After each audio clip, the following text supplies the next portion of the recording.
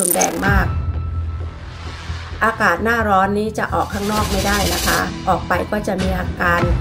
ขอพระคุณพระองค์สรรเสริญพระองค์ สวัสดีค่ะ ข้าพเจ้าชื่อวิไลวรรณ ฟอร์ดนะคะ อยู่ประเทศเนเธอร์แลนด์ค่ะ อยู่โบสถ์ New Wine London อยู่กับ pastor นาริยานะคะแต่ก่อนข้าพเจ้าเป็นภูมิแพ้ที่ถึงขั้นรุนแรงมาก อากาศหน้าร้อนนี้จะออกข้างนอกไม่ได้นะคะ ออกไปก็จะมีอาการน้ำตาไหล จาม ไอ